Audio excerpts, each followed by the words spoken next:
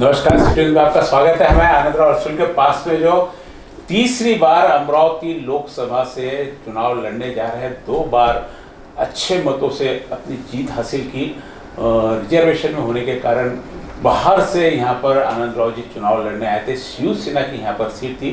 वह सीट बाहर से आकर भी आनंद राव जी ने कायम रखी। अब तीसरी बार पुनः चुनाव लड़ने जा रहे हैं। पिछली बार भी ऐसा कहते थे कि मोदी की लहर ने जीत दिलाई इस बार भी मोदी का कितना इम्पैक्ट काम करेगा।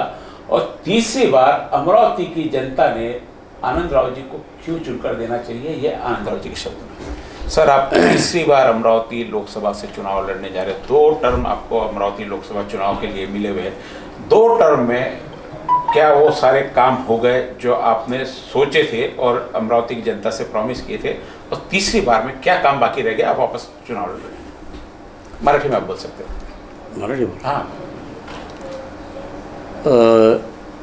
पहिल्यांदा एक गोष्ट लक्षामध्ये घेण्याची गरज आहे की लोकसभेची निवडणूक आणि इतर निवडणुकामध्ये फार मोठं अंतर आहे फार मोठा फरक आहे.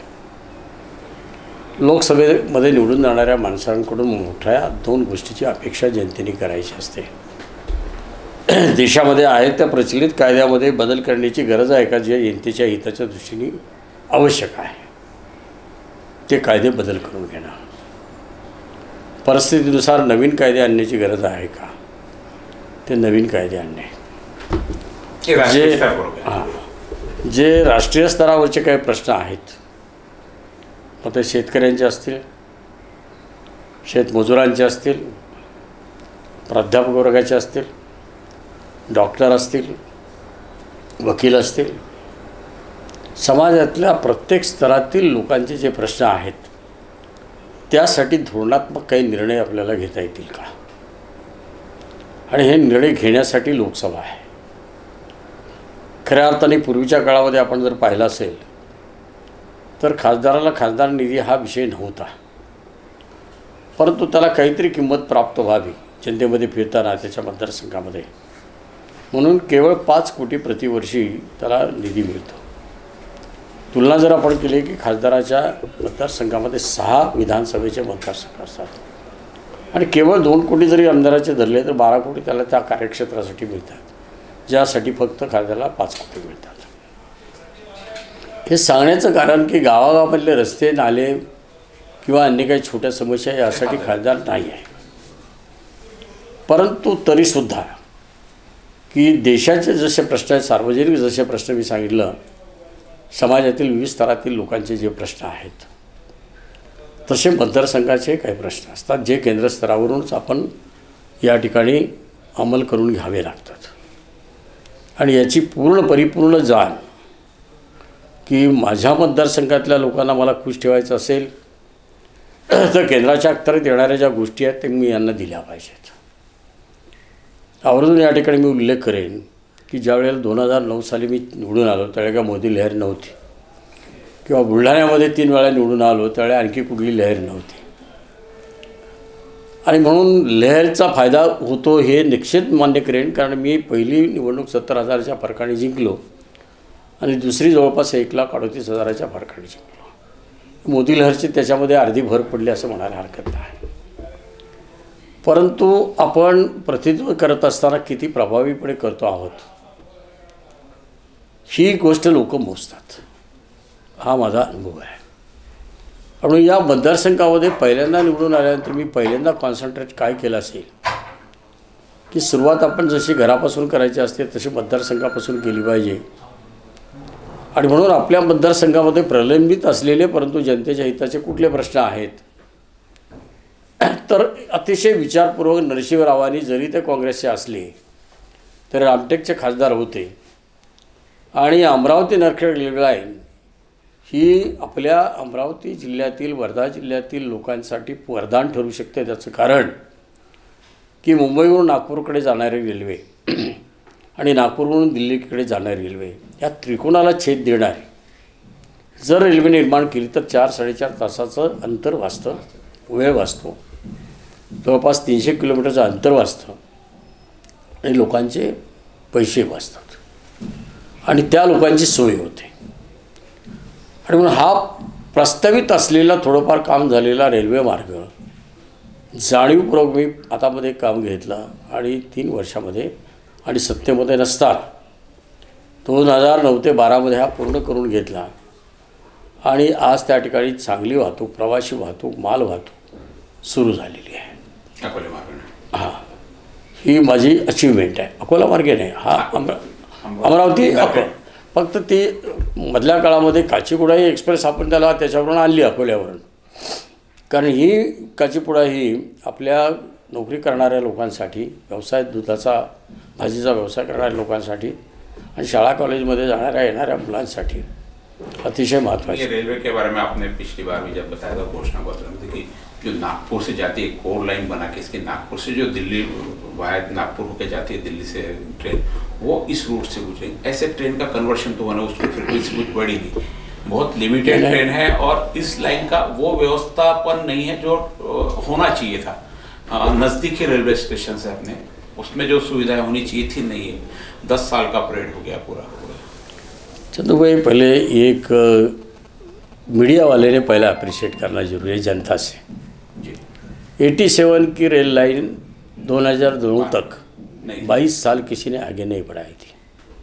और रेल लाइन पूरी करना ये छोटी बात नहीं होती है। जिसके ऊपर 600 करोड़ रुपए खर्चा किया एक लेंदी वर्क है और वो पूरा करके लेना ये आसान और छोटी बात नहीं। इलेक्ट आसान काम नहीं नहीं वही वही वही वही वही वो तो रेल लाइन तो पूरी की। जैसे बहुत सी रेल लाइन आई जहाँ इलेक्ट्रिफिकेशन नहीं हुआ है। इसका इलेक्ट्रिफिकेशन पिछली बार बाकी था आप जब था उसके बाद में हुआ। इलेक्ट्रिफिकेशन भी हुआ। यानी सिलसिला चालू है। एक कंटिन्यूस प्रोसेस चालू है। दूसरा फ़ायदा ये हुआ वलगांव से एक लाइन इंडिया बोल अभी रतन इंडिया बोला जाता है। उसको जोड़ा गया। तो एक बड़ी जो हमारी थर्मल कोल पावर प्रोजेक्ट वहाँ है उसको भी उसका फ़ायदा हुआ। अभी तो बंद है ना अभी देखो आता प्रोजेक्ट बंद है ये तो सवाल नहीं हो सकता है यार। लाइन लिखा है आपने नहीं, लाइन तो दे दिया। मैं आपसे पूछ रहा था कि जो कोर लाइन नहीं, आपने देखिए। बार घोषणा की थी कि नागपुर से जाने वाली ट्रेन इधर से जाएगी मैं उसके सुनो ना उस वहाँ भी मैं आ रहा हूँ। लेकिन पहले एक एक बात तो कंप्लीट करो कि जैसी रेल लाइन बिठाई गई। इंडिया पुल में आपने कहा था लाइन इंडिया पुल सुनिए। जो लाइन जाती है उसका अमरावती क्या फ़ायदा? मैं व्यक्तिगत पूछा अमरावती की जनता को क्या फ़ायदा? क्यों नहीं फ़ायदा? नहीं कोल की लाइन गई हुई है हाँ। उसका अमरावती की जनता को क्या नहीं नहीं ये फैक्ट्री की नहीं नहीं ये लाइन अगर नहीं होती तो फैक्ट्री को लाइन नहीं जाती थी। और फैक्ट्री को अगर लाइन नहीं जाती है तो कोल जो चंद्रपुर भंडारा से लाते हैं या छत्तीसगढ़ से लाते हैं वो लाना आसान नहीं था। नहीं वो कंपनी का प्रॉब्लम है ना? प्रॉब्लम कंपनी ने जब लाइन डाली तो वो तो सारी चीज़ें देखो फिर आप समझ के ले रहे नहीं चंदू भाई ये गलत गलत नहीं गलत- नहीं जनता की बात छोड़ो। नहीं हो सकता जनता के नहीं नहीं तो जनता के सामने जाना है तो क्लियर जाना है। मैं वही तो पूछ रहा हूँ तो ये इंडिया बुल किसके लिए लाया? जनता के लिए? जनता की आप बात करो तो ये उसके फ़ायदे के लिए जनता के लिए कोई फ़ायदा के नहीं आपने भी कहा कि इंडिया बुल को पानी जा रहा है खेती का पानी जा रहा है वो इस प्रोजेक्ट की यहाँ ज़रूरत नहीं थी। आपका भी कहा हुआ कि बिल्कुल नहीं। बिल्कुल नहीं। एक अकेला आदमी मैं हूँ। सभी का विरोध था इंडिया बुल को।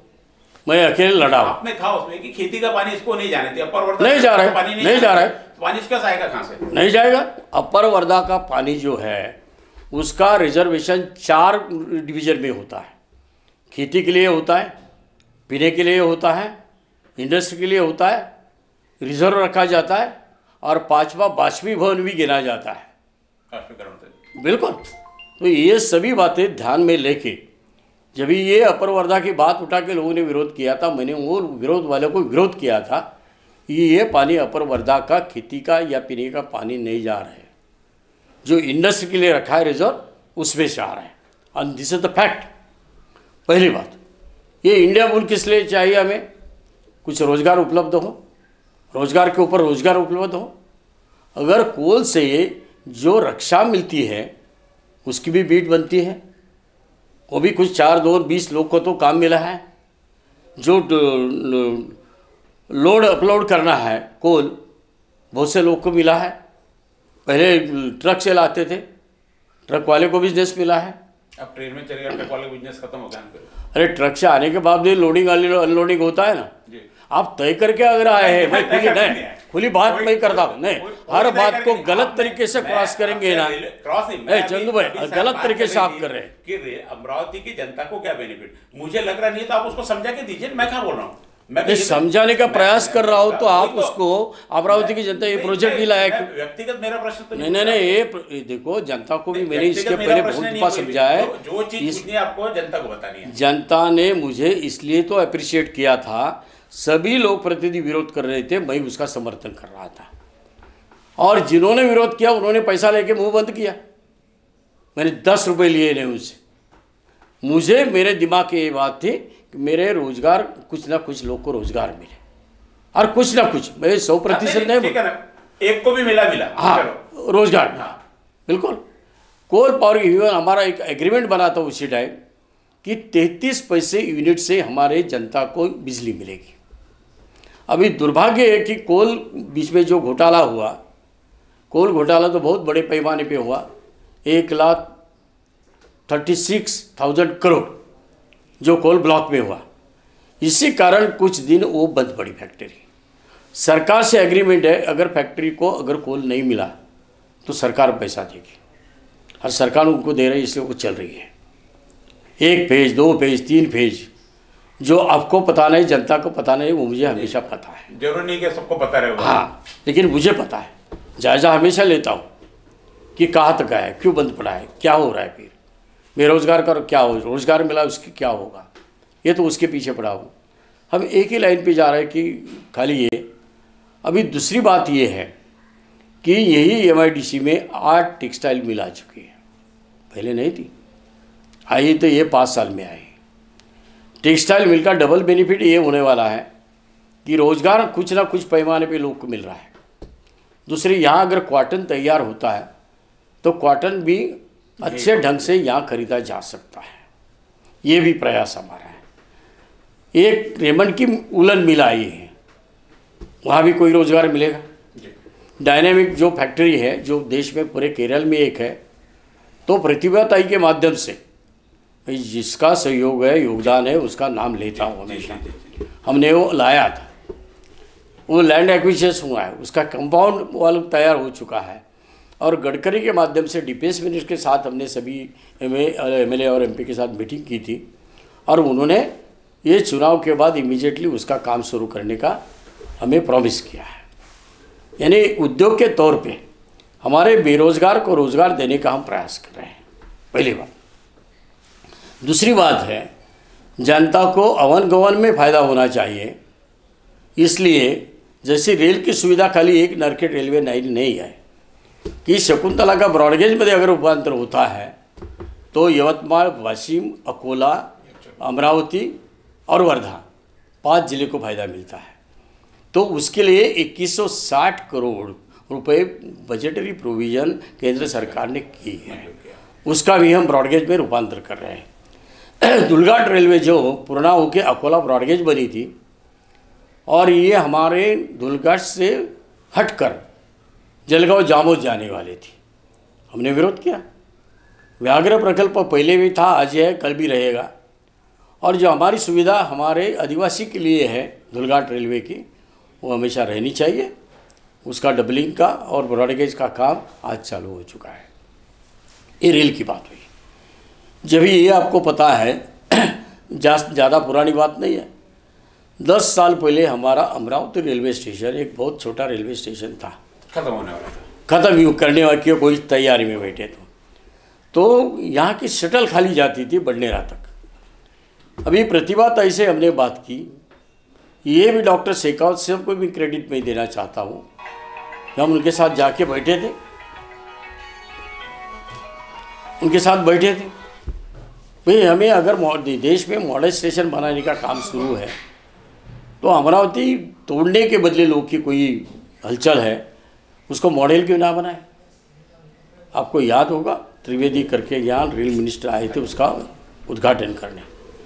तभी वही मंच पर मैं प्रतिभा ताई के साथ बैठा था। तभी त्रिवेदी ने बात की थी, एक ही एम पी कि जो हमें हमेशा सताता है। इसके लिए? अभी आप लोग जानबूझ के भूल जाते हैं। नहीं नहीं नहीं नहीं मैं बताना चाहता हूँ। है हाँ, बात यह है कि मॉडल बनने के वक्त खाली मॉडल रखना नहीं था हमें। आज आठ गाड़ी वहाँ से निकलती है। तिरुपति गाड़ी जाती है जबलपुर गाड़ी जाती है सूरत गाड़ी जाती है नागपुर गाड़ी जाती है। के लिए अमरावती रेलवे स्टेशन अमरावती- उपलब्धि है। बिल्कुल। यदि पिछले 20 सालों के कामों में कोई काम देखा जाता है कि रेलवे स्टेशन सबसे ज़्यादा काम सामने निकल के आता है। बिल्कुल। वहाँ दो, एक प्लेटफॉर्म था, दो प्लेटफॉर्म बनाए गए। उसके ऊपर जाने के लिए ओवर ब्रिज बनाया गया। अंडरग्राउंड भी ब्रिज का ज़्यादा फ़ायदा नहीं होता है। तो दो ब्रिज इवन तो अगले कुछ दिनों में एक्सेलेटर आने वाला है लिफ्ट आने वाली है। यानी हर सुविधा देने का यानी प्लेटफॉर्म भी कितना सुंदर बनाया आपने देखा होगा। तो एक अमरावती एक्सप्रेस जो बहुत देश में फ़ेमस गाड़ी बन गई है, ये हमेशा डेढ़ सौ, दो सौ जिसका वेटिंग चलता था। वो गाड़ी के लिए चार एक्स्ट्रा बोगी लगाने का काम हमने किया। फिर भी वेटिंग है अभी। हाँ तो भी जाने आने लगे रहे। अभी बात ये है चंदू भाई अठारह की बाईस बनाए बनाएँगे। मैं भी यहाँ से जाने की फ्रीक्वेंसी बता रहा हूँ लोगों की। पॉपुलरिटी कि आप चार बॉक्स भी बढ़ा दिए तो वेटिंग रहेगा ही रहेगा उसका। हाँ और भी चार बढ़ाएँगे हाँ, तो भी वेटिंग रहेगा। मतलब और भी आठ बनाएँगे तो भी वेटिंग रहने वाला है। क्या होता सर कई बार क्या हो जाता आप लोगों को लगता है कि हम कोई चीज़ पूछे तो क्रॉस ही कर रहे करके। हम चाहते हैं आप क्लियर कर दो देखो- हमारा कोई क्रॉस करने का ऐसा दूसरा कोई उद्देश्य रहता है। उद्देश्य की बात नहीं है। क्योंकि हर व्यक्ति तो आप। मीडिया का एक काम होता है।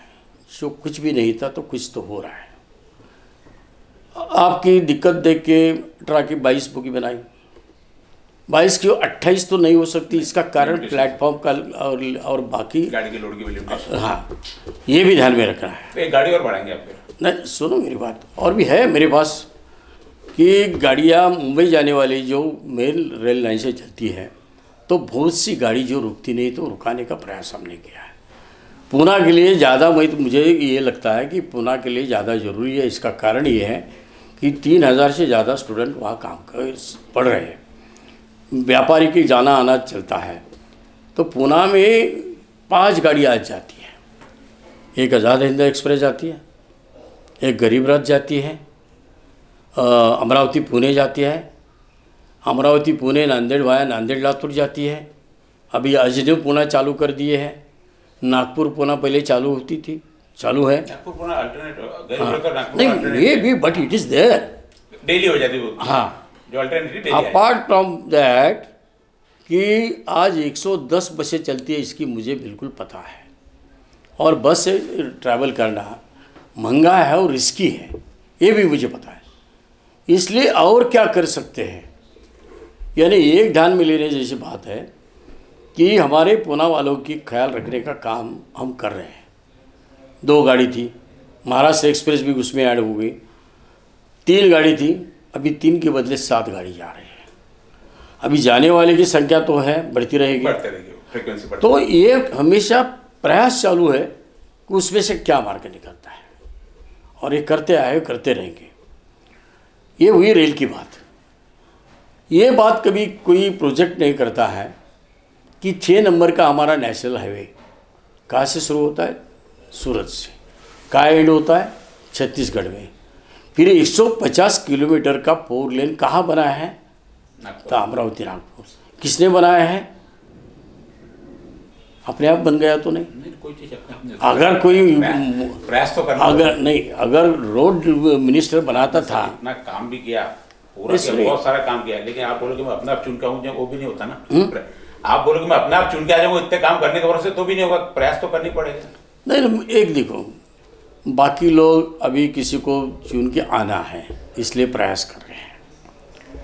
मैं चुन के आ चुका हूँ, और ये पाँच साल में मैं ज़िम्मेदारी के साथ काम कर रहा हूँ। जब भी चुन के आता हूँ तो पहले दिन से मेरा काम शुरू होता है। और चुन के आने के बाद, रिज़ल्ट लगने तक मेरा काम चालू रहता है। फिर वापस नया चालू हो जाएगा हाँ। फिर वापस नया चालू हो जाएगा। फिर ना वो वापस चालू होगा। क्योंकि एक लोक प्रतिनिधि की ज़िम्मेदारी क्या है वो सही माने में मैं समझता हूँ और ज़िम्मेदारी मानता हूँ। और इसलिए प्रयास हमेशा चालू रहता है मेरा। अभी ये भी बात आपने ध्यान में रखना है फिर ये दोहराता हूँ कि फोर लेन का हाईवे खाली छः नंबर हाईवे के ऊपर ये डेढ़ सौ किलोमीटर हो चुका है। अपने आप नहीं हुआ। या मिनिस्टर छत्तीसगढ़ तक बनाऊँगा बताए थे लास्ट टाइम भी आपने मैनिफेस्टो जारी किया था। नहीं देखो ये तो काम मैं सुझाव देना काम करना मेरा काम है। अभी फॉर्चुनेटली बंडेरा से आगे बढ़ने वाला था उसका भूमि पूजन ही हो हो गया।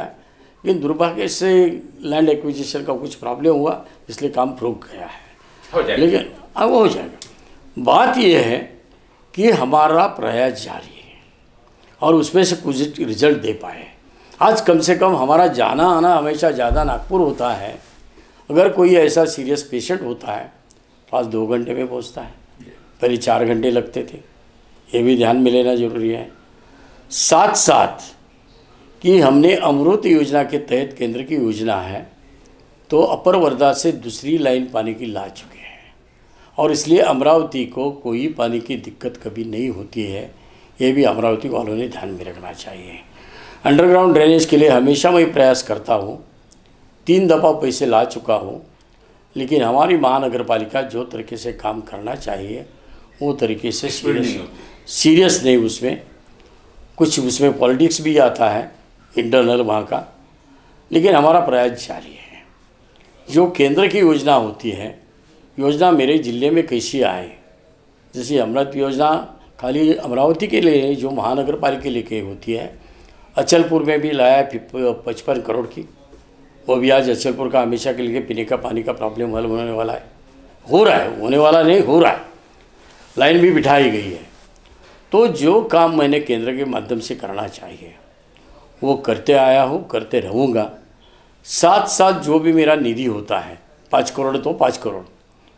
मेरे पास सोलह सौ भी ज़्यादा गाँव है। लेकिन हर गाँव में कुछ ना कुछ किसी को रास्ता दिया है। किसी को समाज मंदिर वो जो निधि आपके पास पाँच करोड़ की रहती है वो आपके पास फ्री एंड रहती खर्चा करने का। जहाँ लोकल संस्था है महाराज गवर्नमेंट नहीं कर पाती वहाँ पे उसके सिवा मैं शिक्षा विभाग में ज़्यादा कॉन्सेंट्रेट करता हूँ। कुछ जगह पहले कंप्यूटर दिए थे बाद में टैब्स दिए थे। अभी डिजिटल मोड देने का मैंने काम किया है। बहुत से गाँव गाँव में और ये कभी देखा नहीं ये स्कूल किस संस्था का है किस पार्टी का है। क्योंकि संस्था पार्टी में इसलिए मानता नहीं शिक्षा विभाग में बच्चे लोग होते हैं वो कोई पार्टी के नहीं होते हैं। और उनको अच्छी शिक्षा मिलनी चाहिए ये मेरा हमेशा प्रयास रहा है। शिक्षा को लेकर आपने पिछली बार एक घोषणा की थी कि बिना डोनेशन के सबको एडमिशन मिला ऐसा मैं प्रयास करूँगा। आपने कहा था। करते हैं लेकिन एक एक देखो बात यह है कि शिक्षा विभाग पूरा राज्य सरकार का अधिकार है। उसकी पॉलिसी बनाना पॉलिसी बनती भी है। उसका अमल करना भी यहाँ के सरकार का यहाँ के सरकार का और प्रशासन का काम है। तो बिना डोनेशन का मैंने कभी बोला ही नहीं था लेकिन डोनेशन ये चीज़ मुझे कल भी पसंद नहीं थी आज भी पसंद नहीं है। ये भी बात है। अभी जो किसी को पूछा होगा वो बात मेरे ऊपर अगर थोप देंगे आप नहीं मैं आपने तो मेरे नहीं बिल्कुल नहीं। आपकी दूसरे की क्यों देखो चंदू भाई चीज़ें तो नहीं देखो तो। बाकी लोग से और मेरे से बात करते टाइम एक बात हमेशा सोचो हर बात दिल से और दिमाग में दिमाग से करता हूँ। मैं ज़्यादा बहुत कुछ ऐसी मेरी ये नहीं मेरा बोल देता हूँ बहुत होशियार आदमी हूँ लेकिन मैं अनाड़ी भी नहीं हूँ। नहीं बोल रहा है? नहीं बोल रहा हूँ। जो कर सकता हूँ। अपेक्षा करके तो आपसे। प्रश्न करते नहीं नहीं जो प्रश्न भी नहीं लेकिन जो मैं बोला नहीं कि मुझे पता है कि जो शिक्षा विभाग स्टेट गवर्नमेंट का है तो शिक्षा डोनेशन मुझे ये बात पसंद नहीं थी आज भी नहीं है कि अच्छे अच्छे लोग को डोनेशन के कारण आज शिक्षा पूरी करना मुश्किल हो जाता है पर्टिकुलर मेडिकल इंजीनियरिंग में एडमिशन लेना मुश्किल हो जाता है गरीब के बस की का बात नहीं हुई है ये मानता हूँ ना। और उसके लिए कभी कभी जब ये हाउस में प्रॉब्लम खड़ा होता है तो हम उसके समर्थन करते हैं बुरे चीज़ का विरोध करते हैं। स्टेट भी कहाँ किसी को डोनेशन लो करके हम्म? स्टेट सर गवर्नमेंट भी डोनेशन लेने का कहाँ परमिशन देती किसी किसी परमिशन किसको नहीं है? लेकिन देने वाले देते लेने वाले लेते। यहाँ नहीं सुनो ना उसके आगे एक उदाहरण देना चाहता हूँ। हुंडाबंदी डाउरी कानूनी बंदी है लेकिन चलता है। हुंडा लेन देन चलता है कि नहीं मुझे बताओ ना। चलता है। फिर? सौ खुशी से। वही बोल रहा हूँ वही डोनेशन की बात है। डोनेशन की वही बात है मेरा लड़का अच्छे से स्कूल में जाना चाहिए मेरा लड़का अच्छा कॉलेज में जाना चाहिए।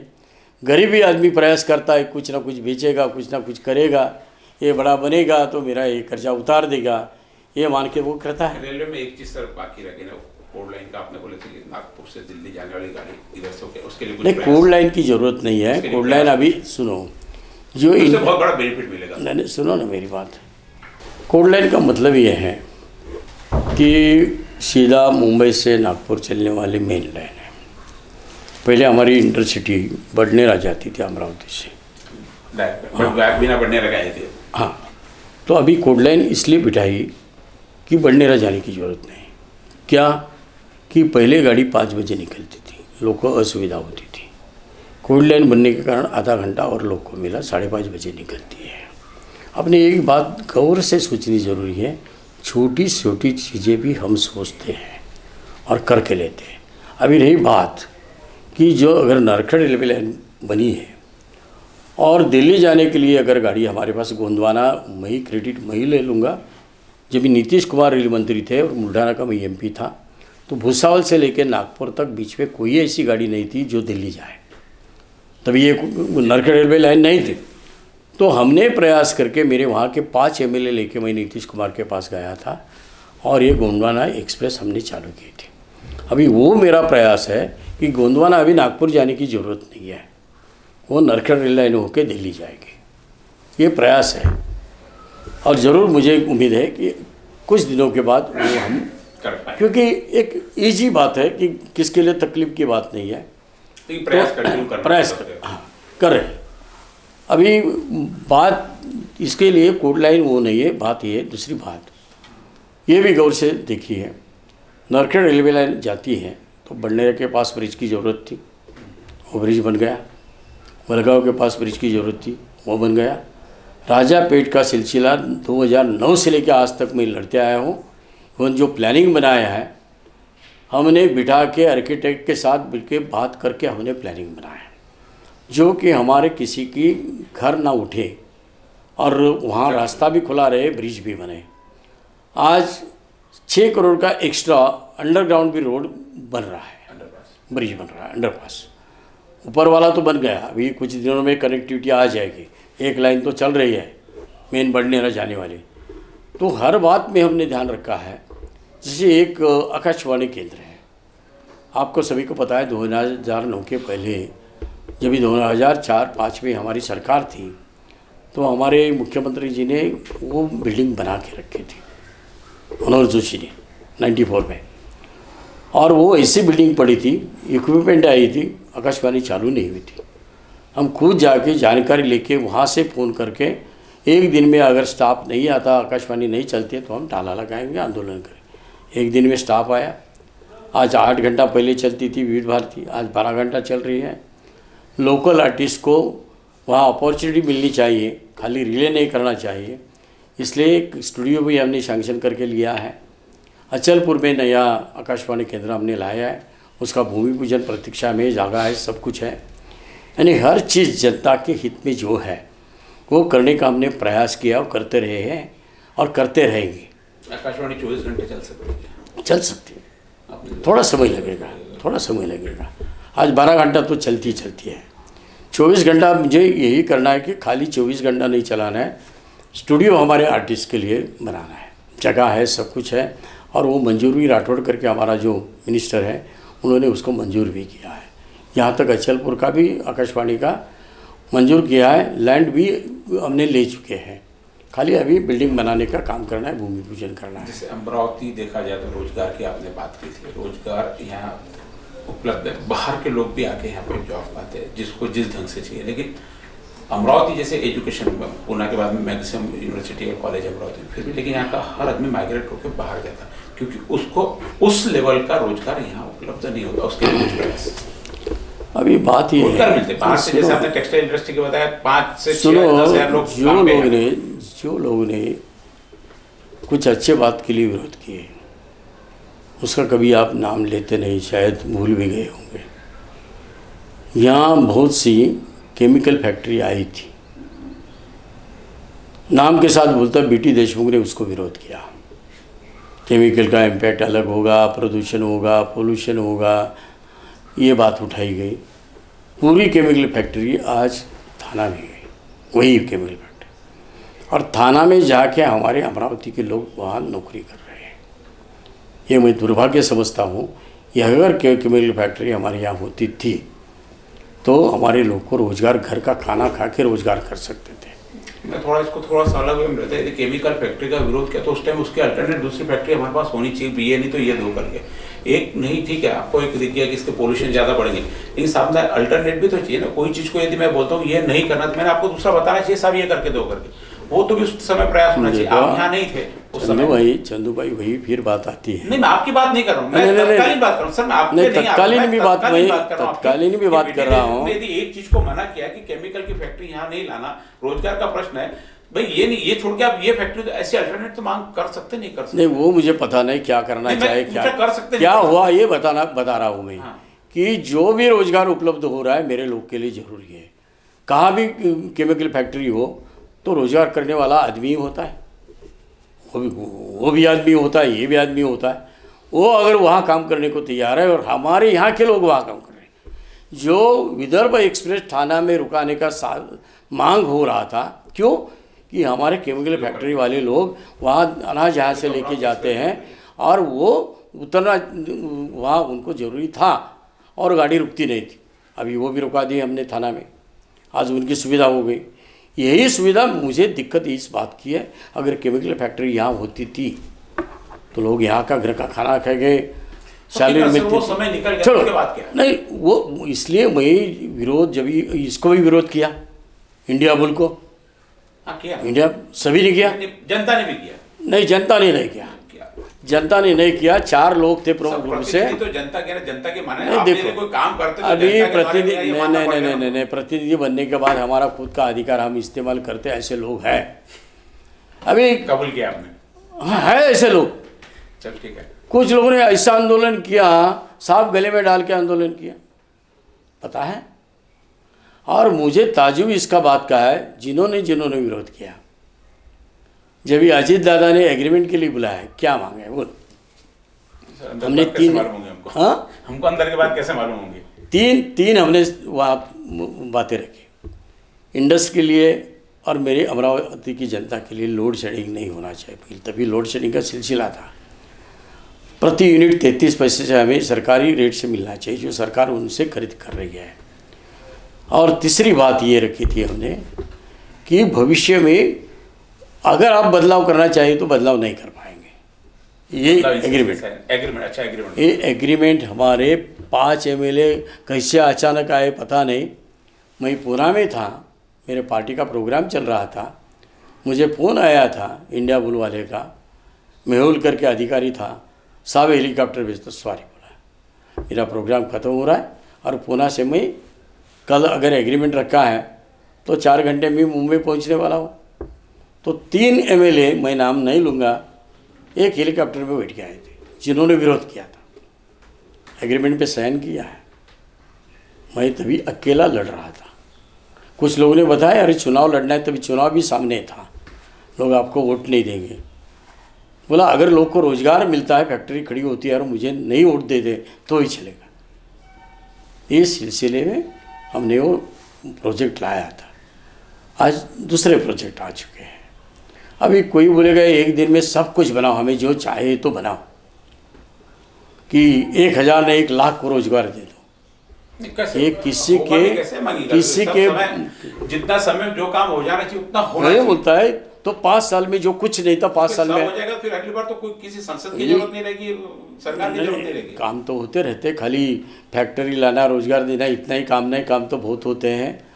तो बताने का मतलब ये है कि पाँच साल में अगर आठ टेक्सटाइल मिल आती है रेमंड की मिल आती है, डायनेमिक फैक्ट्री आती है, कोच रिपेयरिंग फैक्ट्री का काम नज़दीक नज़दीक पूरा होने आया है, जो हमने लाया था 2009 में मंजूर किया था ममता जी से, आज उसका काम पूरा होने जा रहा है।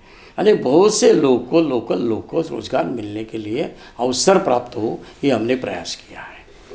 ये रोज़गार की बात। एक छोटा सा ब्रेक, रोज़गार, इसके बाद इसके बाद में और रोज़गार और युवाओं के लिए क्या संदेश और अमरावती को पर्यटन के रूप में किस प्रकार प्रस्थापित कर सकते इसके बारे में क्या योजनाएँ आनंद राव जी की? देखिए छोटे से ब्रेक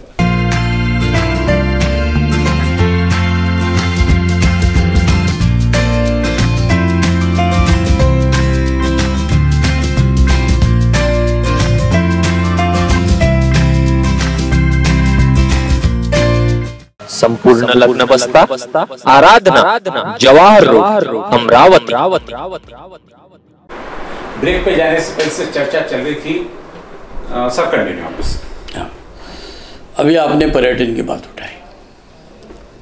और सौभाग्य से हमारे पास चिकल दराज जैसा एक हिल स्टेशन अच्छा हिल स्टेशन जहाँ व्याघ्र प्रकल्प भी है जहाँ हिल एरिया में हमारे आदिवासी भाई रहते हैं।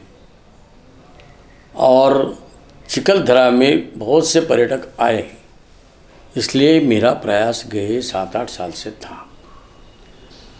और इसलिए मुझे खुशी है बताने में कि चिकल, चिकलधरा का विकास करने के लिए 835 करोड़ की राशि मंजूर हो चुकी है।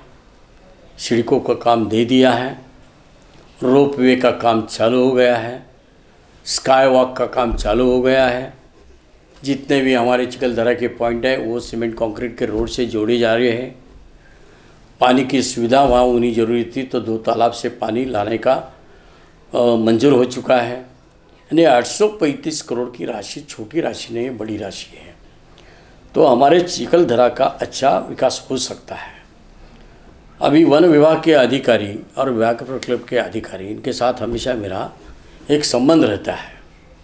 और इनके कारण कि हमने वहाँ ये भी प्रयास किया है कि हमारी जितनी भी गेस्ट हाउस ब्रिटिश काल की थी, उसका मॉडिफिकेशन बहुत अच्छे तरीके से किया है।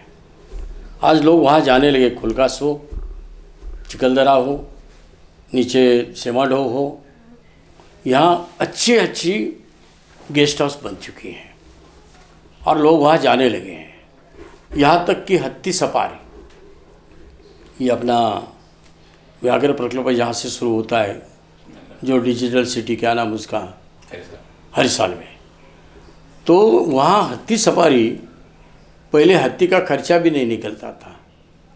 और आज हत्ती की सफारी के कारण इतना बिज़नेस मिल रहा है कि खर्चा जाके अस्सी हज़ार एवरेज मंथली इनकम हो रहा है। हाँ वाह। अभी वही व्याघ्र सफारी यानी जो जीप रहेगी उसको जाली रहेगी और वो घूमेगी तो पर्यटन के लिए जैसी हत्ती सफारी है, व्याघ्र सफारी भी होगी और साथ साथ विकास इसका होगा तो होटल दो चार वहाँ अच्छे बनेंगे। अभी तो एमटीडीसी का अच्छा होटल बन चुका है। ये काफ़ी नहीं है, मुझे पता है। और भी कुछ प्राइवेट लोग बना रहे हैं। तो एक चिकलधरा का अच्छा विकास हो रहा है, जो सही माने में जैसा महाबलेश्वर में एक अच्छा पर्यटन स्थल बना है, पाँचगनी में बना है। वैसा पर्यटन स्थल हमारे चिकलधरा में जल्दी ही बनने वाला है। इसमें को दो तीन चीज़ों के बारे में आपसे पूछना है। पर्यटन स्थल आपने जितनी कोशिश की बन जाएगी, और भी अच्छी कल्पनाएँ आएँगी, और भी पूंजी आएँगी, और भी कुछ आएगा, बन जाएगा। लेकिन जो पर्यटक आने वाले आपसे आपको बाद में उससे आप बताओगे इसको, इनको आने जाने के लिए जो सुविधा चाहिए वहाँ तक पहुँचने की, इनको कोई कोई बाहर से आता हो नियरेस्ट एयरपोर्ट उसको नागपुर नागपुर से वहाँ पहुँचने में अभी ठीक अब तीन घंटे लगते पहले पाँच घंटे लगते तीन घंटे कम से कम वहाँ पर पहुँचने को लगते हैं। तो ये तीन घंटे का सफ़र ट्रेवल से करने में लोग बहुत, क्योंकि तीन घंटे बॉम्बे पूना देखे तो दो घंटे में वहाँ पर लोनावाला, खंडाला पहुँच जाता आदमी महाबलेश्वर पहुँच जाता जो फ्रिक्वेंसी इजीली रहती। किसी को यदि बाहर से आके दो दिन में वापस जाना तो एक दिन उसका आने जाने में चल जाता है। और एक स्थानीय प्रॉब्लम जो वहाँ पे, मैंने, यानी आपके क्षेत्र का शायद नहीं है वो, लेकिन आपको ध्यान में कि वहाँ से कोई जाता है तो वहाँ के लोकल के लोग और वहाँ की पुलिस भी बहुत सारे लोगों को परेशान करती है। ऐसा कई बार सुनने में आया है कि परतवा में दो लोग पकड़े, मियाँ बीबी को पकड़े, किसी को इधर पकड़े, जाने वाला वो घबराहट होती है। उस चीज़ से कैसे बाहर आएँगे आपका प्रश्न नहीं है, लेकिन ज़रूरी है पर्यटन स्थल को हमको डेवलप करना है तो। देखो, बात यह है कि एयरपोर्ट कनेक्टिविटी तो अभी मंजूर हो चुकी है। जो लैंड एक्विजिशन करना था लैंड एक्विजिशन हिस्ट्री बनाने के लिए लैंड एक्विजिशन हो चुका है बिल्कुल हो चुका है। अभी इवन दो यहाँ तक मन, अ, स्टेज है कि टेंडर जल्दी निकालने वाले हैं बनाने के लिए।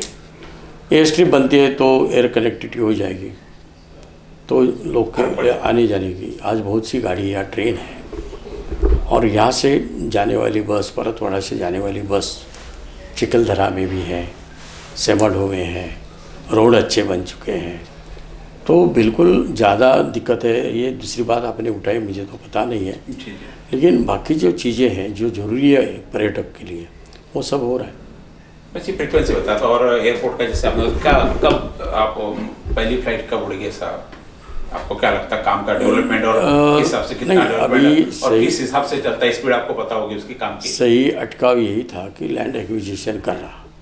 यहाँ तक मैं बोलूँ कि 16 लाख रुपए पर हेक्टर वो जगह ले चुके हैं और उसको कंपाउंड डाल के अभी उसका काम चालू कर रहा है।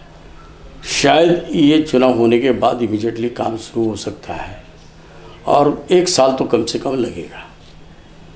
पूरी कनेक्टिविटी देने एक साल के बाद क्योंकि आज चार्टर तो आता है। हाँ। खाली एयर स्ट्रिप बढ़ाना है।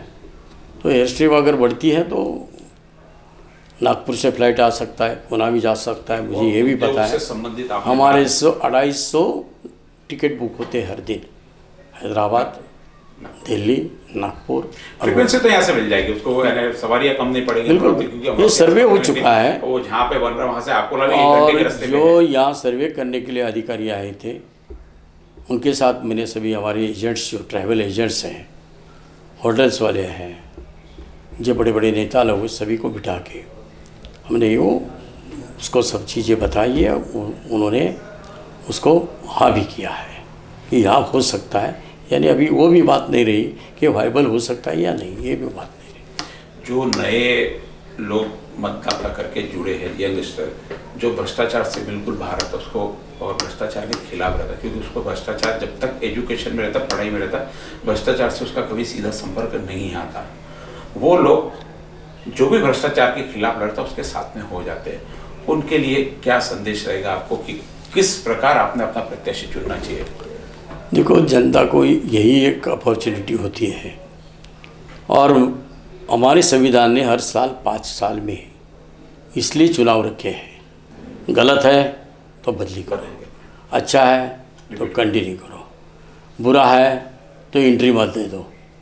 तो अगर लोग को अनुभव आ रहा है कि हर बात में चीटिंग अगर होती है लोग के साथ चीटिंग होती है काम के साथ चीटिंग होती है अधिकारी के साथ दादागिरी होती है जो गलत काम करवा लिया जाता है ये अगर लोग के सामने है तो उनको आज फिर एक अपॉर्चुनिटी है, उनको इससे बाहर करना।